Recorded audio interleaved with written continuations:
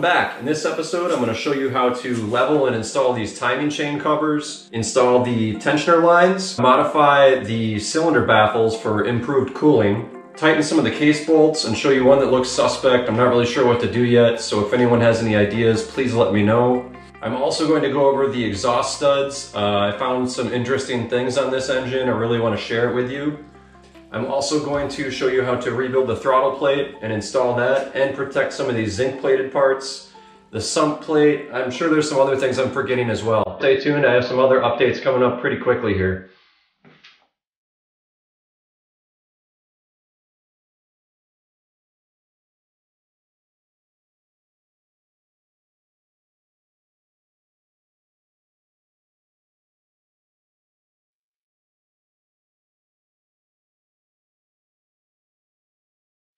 Alright, so these are some of the parts back from the powder coater. I'm using uh, Zealous Manufacturing. I'll include a link in the comments, but these parts are beautiful. Um, really excited with how they came out. I don't know if you can see that in the sun, but it's it's all metallic and has a nice kind of like rainbow effect a little bit.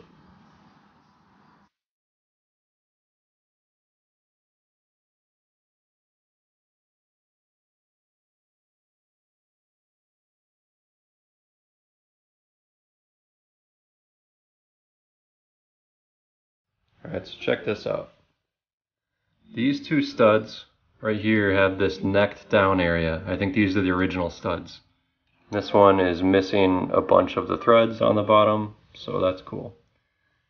This one pulled out. This one is thicker and looks great. And on this cylinder, I got some interesting things going on. This looks like an insert of some kind, uh, but it's not flush with the mating surface for the exhaust gasket. This one is really not flush. When you look up here, there's actually a hole that I can put my pick down into. And you'll see that that's, I don't even know how that's possible because there's, there's no holes on any of these except for this one. So what's up with that? After that kind of disturbing news about the exhaust studs, I just need a win right now, so I'm just going to put in the sump plate just because it looks cool and it's nice and clean. So let's do it.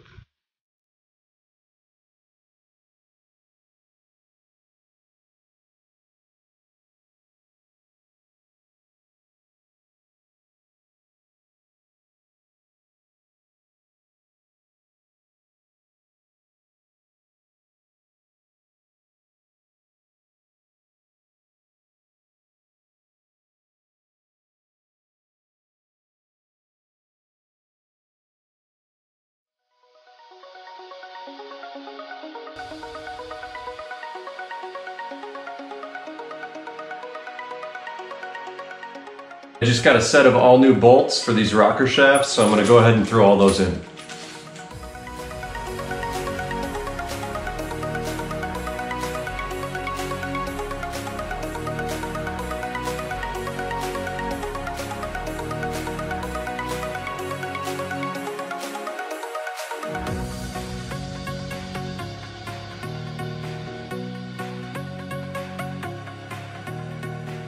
All right, so one thing that I'm gonna try to do here is, I don't wanna disturb the case, but this is loose, so I wanna tighten this nut here to bring the case a little tighter here.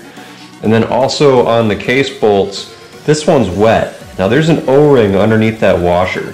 So what I think I'm gonna do is I'm gonna try to loosen this case bolt and see if I can pull it out a little bit and put a new O-ring with some silicone behind here and then um, put it back together.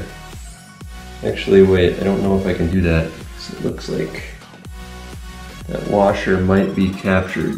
So I don't think I can get to it, which sucks, because you can see that it's, unlike all the other ones, it's just really nasty looking. So I don't know what I'm gonna do about that. I don't even know how this comes out. It's like someone forgot to tighten it.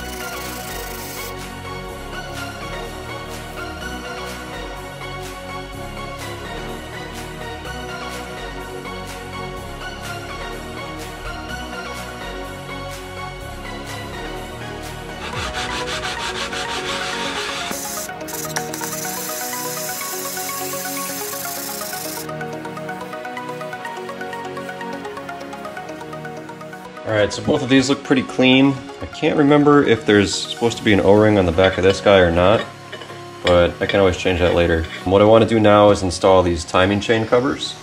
I have a new gasket set, but I think just because of aesthetic reasons, I'm going to be reusing the old hardware that I had replated, as opposed to the silver stuff. And these gaskets, the book is saying to put it in dry.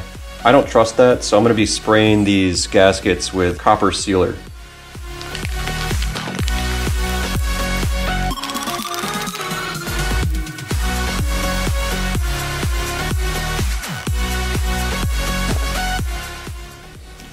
It's really important that you don't forget this O-ring, otherwise you're gonna be getting leaks right where your cam line runs in. And the other thing in Wayne's book is it says to put a little bit of assembly lube on it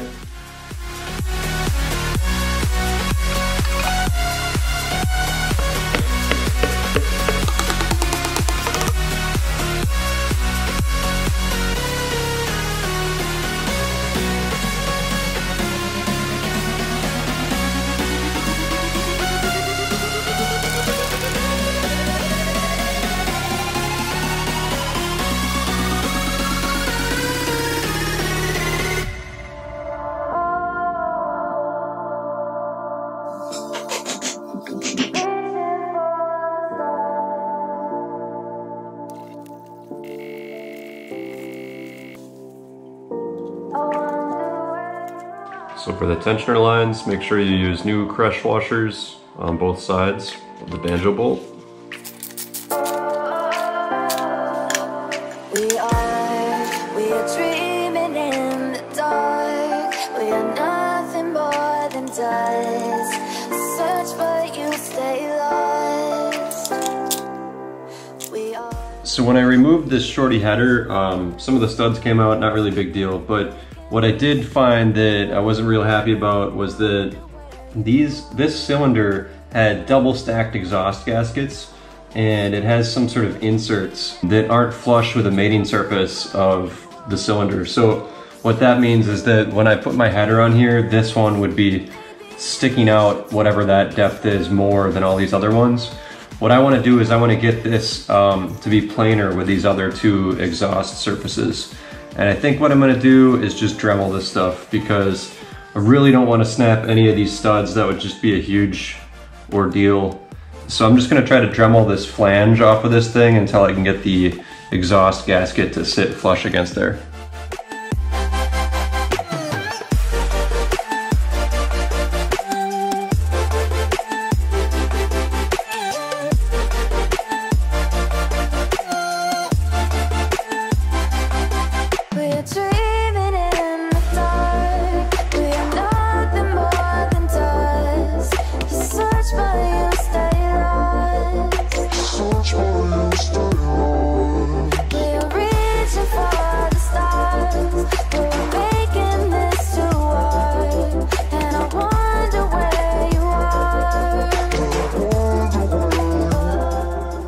Alright, so this is the throttle plate assembly.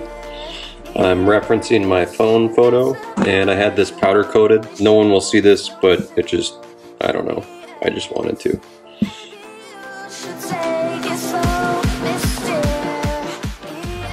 I pressed in the new throttle bushings. When I took this car apart, there were no bushings whatsoever, so that should help.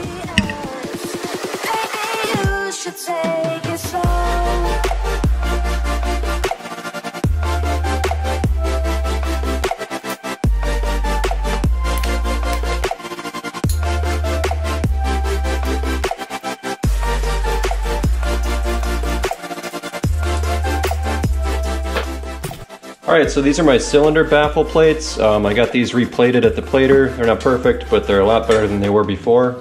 Um, one thing I want to do to them before I install them is the center ones, not the end ones, these four.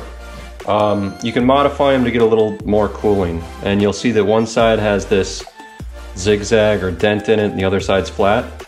We want to remove a piece about like that from the outside of all four of these. I'm just gonna use a tin snips, hopefully that works.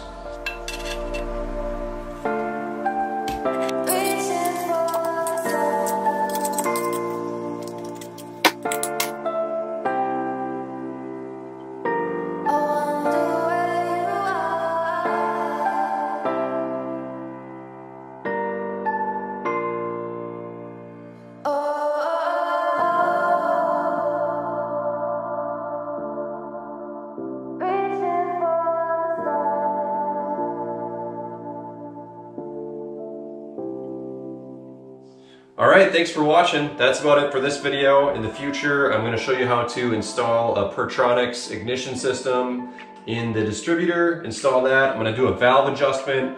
Also gonna be installing the flywheel and uh, clutch and everything. So stay tuned, bunch more coming. I wanna get this thing on the road before the snow falls, so there's gonna be a lot more things coming on. If you guys wanna like and subscribe, go for it. If you don't, I don't really care. It's up to you.